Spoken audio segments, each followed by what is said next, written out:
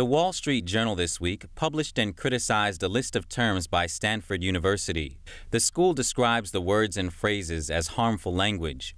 Stanford says it's part of its Elimination of Harmful Language initiative, which the school calls a multi phase, multi year project to address harmful language in IT at Stanford.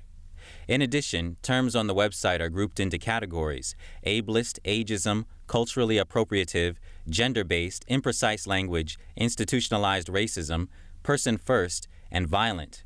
In the ableist category, the school includes terms such as walk in for appointments. They suggest using drop in instead. Calling yourself an American falls in the category of imprecise language.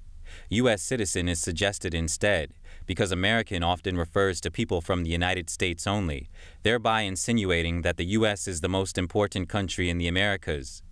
Immigrant would be replaced with the four word term person who has immigrated. The Wall Street Journal editorial board says this list shows that much of modern life and culture resembles the Babylon Bee. The list reportedly took 18 months to complete. Reporting by Arian Pastar, NTD News.